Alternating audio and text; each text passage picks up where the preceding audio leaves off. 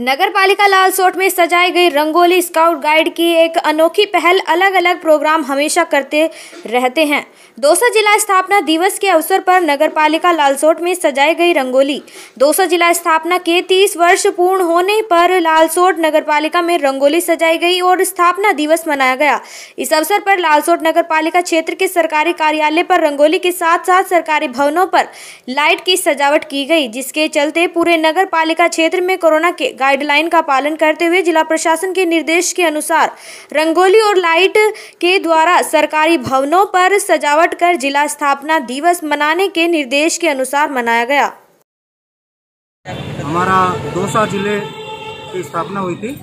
उसी स्थापना दिवस के अवसर पर आज राजस्थान राज्य भारतीय scout guide N Y K S के वॉलेंटियर्स के द्वारा जिला स्थापना दिवस पर ये रंगोली सजाई जा रही है। इसी के साथ में संपूर्ण नगर में विभिन्न स्थानों पर दीप प्रज्वलन का कार्यक्रम भी किया जाएगा।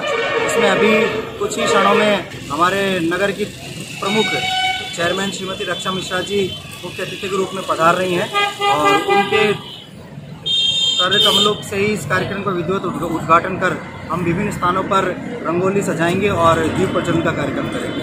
आज हमारे ज़िले को स्थापित हुए 30 वर्ष हो गए हैं। उसी के उपलक्ष्य में इन स्काउट गाइड के वॉल्टियर्स के द्वारा विभिन्न प्रकार की गतिविधियों का आयोजन किया जा रहा है। इसमें सुबह से ही प्रत्येक नागरिक को पीले चावल दिए जा रहे हैं।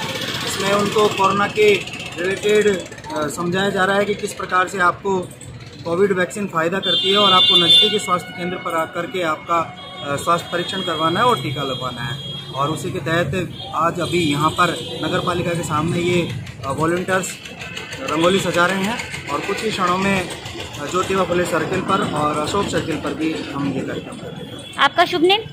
मैं श्रीकांत शर्मा स्काउट सेक्रेटरी लाल सिंह